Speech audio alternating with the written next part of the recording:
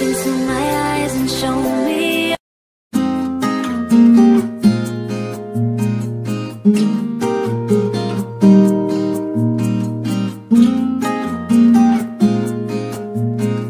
mm -hmm.